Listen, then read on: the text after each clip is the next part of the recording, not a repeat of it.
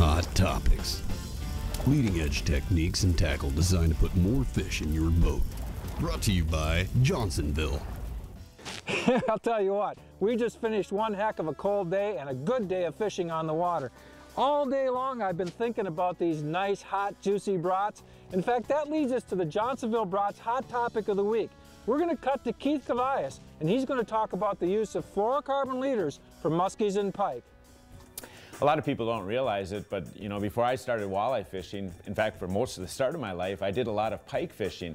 And ever since I can remember, uh, the main material we used for leaders was some kind of wire, you know, whether it was seven strand or straight wire or whatever. And that is, of course, a great thing to use for a leader, but a little concern comes into play when you're fishing clear water. Uh, same thing when I'm out walleye fishing, you know, I get a little concerned that the fish can see the line. And so one of the trends now in pike fishing is to go to fluorocarbon leaders for pike fishing.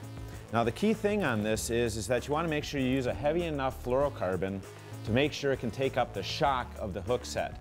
For example, uh, if you're going after big pike and you're using Pete Maina's uh, you know, signature rods, good and stiff rods, and you're gonna set that hook, you're gonna wanna be using a 100 pound fluorocarbon. Now let me real quickly show you a knot that we use to actually tie up the fluorocarbon. It's called a canoe man knot. What you do is put your tag through your loop, through your swivel or snap, make one backwards loop, a second backwards loop, take that second one, put it through the front of the first one, and then take your tag and run it through that second loop. And you just pull this tight, this is a great knot for both your snap side and your swivel side. Now if you're casting this, you're going to use about a 12 inch a uh, leader. If you wanted to use this for trolling, you could go all the way out to four feet or so.